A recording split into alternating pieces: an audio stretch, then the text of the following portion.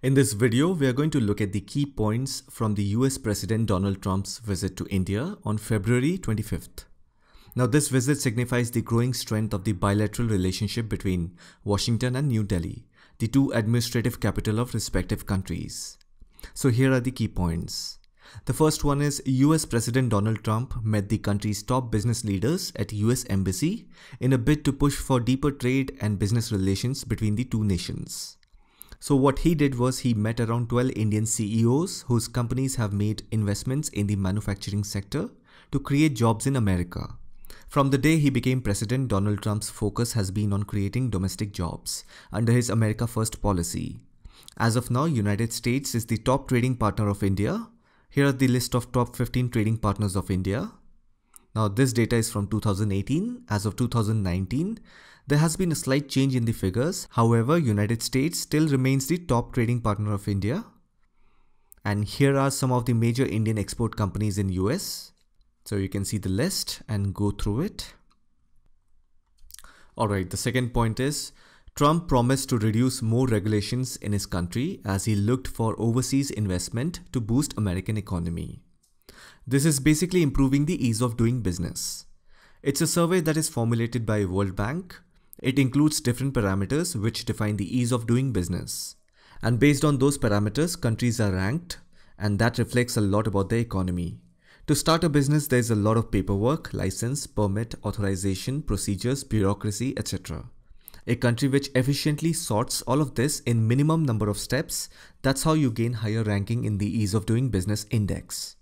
So as per the 2020 report, India is at 63rd position and America is at number 6th position. You see there's a lot of difference between the two countries when it comes to ease of doing business. And the president of US is saying that he is going to reduce more regulation. That means it is going to get much easier to do business in United States. So it is a good sign for Indian businesses to invest in the American economy. The third point is Trump told business leaders stocks will jump higher if he's re-elected. But if I don't win, you're going to see a crash like you have never seen before. As we all know, the American presidential election is held every four years. It is held in the month of November. This year in November, President Trump's tenure will end and a fresh election is going to take place. So it's a pre-election witty statement by a politician. The fourth point is Trump said his administration planned to announce tax cuts for the middle class in the not too distant future. When he said this statement, it obviously means that he's going to cut the taxes for the middle class of US. Now, when you reduce the income tax, as an individual, you'll have more income at your disposal. When you have more money in your hand, your consumption will increase. Consumer spending will increase, and that is good for the economy. Always remember this, every one of us is a consumer. The things we buy every day create the demand that keeps companies profitable and employs new workers. For a profitable economy, ideally what a government should do is it should stimulate consumer spending because that will create demand. And on the supply side, businesses want the government to cut taxes for them so that they can create job. And then businesses will not increase the production if there is no demand. Do you see this paradox? So this is what the government has to balance for a healthy economy. The fifth point is it was clear once again that Indo-US ties are not just one between two governments, but it is people-driven and people-centric. If you look at the Indian diaspora in the United States, according to the 2010 US Census, the Asian Indian population in the US grew from almost 16,78,765 in 2000, which comprises of 0.6% of the US population, to 28,43,391 in 2010 which is 0.9% of US population. The 2020 census will be delivered between March 12th and 28th. In that again you will see a significant rise in the Indian population. So basically Indian Americans make less than 1% of the United States population and 5.9% of the total immigrant population in the US. Mexican immigrants are in higher number, that is nearly 25%. President Trump has also appointed several Indian Americans to top posts, people like Nikki Haley, who was appointed as ambassador to the United Nations, but she resigned in 2018. Then Seema Verma, who became administrator of the Centers for Medicare and Medicaid Services. Then Ajit Pai, who was appointed as the chairman of the Federal Communications Commission. So these were all the people who are of Indian origin who are now doing well in the United States. It was in June 2017, President Trump and Prime Minister Modi met for the first time. In 2008, they met again. In 2019, they met four times, and now the recent visit. So, definitely, his likeness towards India has increased a lot over the years. Anyhow, let me quickly give you a glimpse of what the Indian American population looks like. It is mostly working professional or students whose background in India is largely classified with a stable middle class family or a well off family category. It is the fact that to acquire a citizenship of the United States, you have to go through a three level selection process. The first level is education. Very few uneducated Indians make it to the US, otherwise, education is a must. The second level of selection is the lengthy immigration process. Many Indians come to the United States as students, then they get a job, with an H-1B visa and eventually after many years become permanent residents and then US citizens. And this entire process is full of uncertainty and nothing is promised. And the third level of selection is based on who the immigrants are. When a country like United States say that we welcome immigrants who can contribute to a nation's economy, you need to read between the lines. The American immigration process is very strict on background verification Great majority of Indian immigrants in America come from the upper class of Indian social hierarchy. And the American government knows about this after doing your background verification. Because that is their way of estimating whether or not you will succeed financially. The sixth point is, at the global level, the cooperation between India and the US is based on our mutual democratic values and objectives. This partnership plays an important role in the rule-based international order in Indo-Pacific and global commons. So both the countries are democratic countries. The simplest meaning of democracy is that the government is elected by citizens. The American follow the presidential system, which is a form of government, in which the president is the chief executive and is elected directly by the people. India follows the parliamentary system, where the legislature holds the supreme power, and the head of legislature is the prime minister. So their president and our prime minister, they are two highest representatives of their respective countries. The United States is the oldest and the longest democracy in the world since 1776, and India is the largest democracy in the world. The Indian constitution has picked the best features from other constitutions of the world. The preamble of the Indian constitution is taken from the constitution of United States. Apart from the preamble, here's the list of borrowed features of Indian constitution from the American. The India-US partnership plays an important role in the Indo-Pacific region. Whenever you hear the word Indo-Pacific region, this is the region that we are talking. It is the region where the Indian Ocean and the Pacific Ocean connects. Now if you look at the map, there are two ways you can reach America from India. One is by going west and another one is going east. If you want to reach the ports of western coast of United States, then the Indo-Pacific route is the best route. Similarly, if you want to reach the eastern coast of United States, then going west is better. If you go to the website marinetraffic.com, you'll be able to see all major ships in real time as they sail around the world's ocean. I have taken a screenshot, it looks something like this. Now have a look at this picture. These are the major 8 choking points. They are called maritime choke points. These are extremely narrow water doors that big ships tend to use to reach their destination efficiently. Apart from these, there are many smaller maritime choke points that exist. Anyhow, from these eight, the two important choke points are Strait of Hormuz and Strait of Malacca, meaning majority of the cargo vessels passes through these two choke points. Strait of Hormuz is between the Persian Gulf and the Gulf of Oman. This is the only route from where the Middle Eastern countries can sail into the open ocean. And we know that the Middle Eastern countries have been supplying a big part of the oil around the world. That is why this choke point is very important.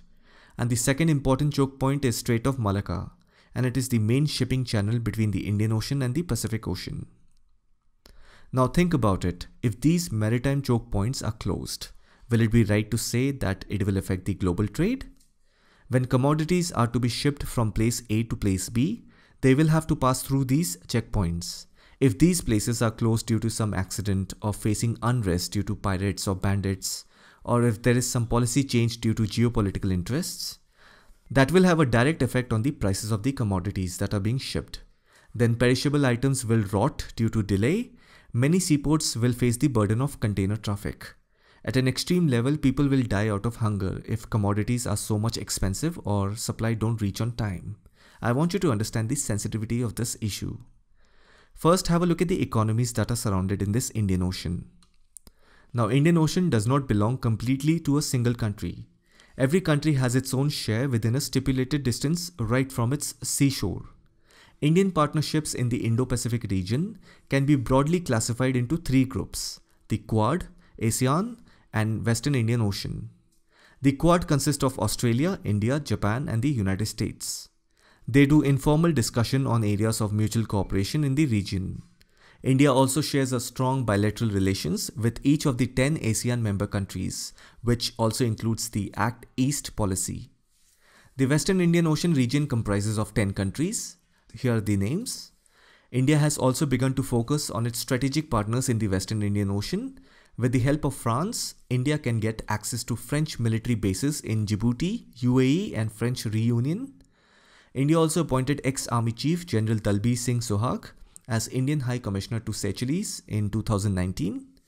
India has also shown interest in building a naval facility in Seychelles. India also upgraded its relationship with the UAE to the level of comprehensive strategic partnership and both the nations held their first ever joint naval exercise in 2018. India is also expected to conduct its first joint naval drills with Saudi Arabia in 2020. Then India is also upgrading its coastal surveillance network, which is a chain of radars that provide comprehensive live monitoring of ship movements in the Indian Ocean region and connect Indian radars to similar system in Sri Lanka, Maldives, Mauritius and Seychelles. That is why India plays a key role both strategically as well as economically when it comes to being an important asset in the Indo-Pacific region. Or you can also see it this way, that India is the only country that is holding together all these various groups that operate in the Indo-Pacific region. India is constantly strengthening its relations with all the nations that exist in the Indian Ocean and Pacific Ocean. The seventh point is, the biggest takeaway from the visit was moving forward in the defense sector. The $3 billion worth of helicopter purchase was a significant deal. The deals include procurement of 24 MH-60 Romeo helicopters by India at $2.6 billion, another contract to acquire six AH-64E Apache helicopters for $800 million. In November last year, India and United States conducted a massive joint military exercise, which includes all the three services, Army, Navy and Air Force, which strengthened both of the nations' bilateral military partnership. It was called Tiger Triumph. The whole idea behind this exercise was to build important relationship between the two military.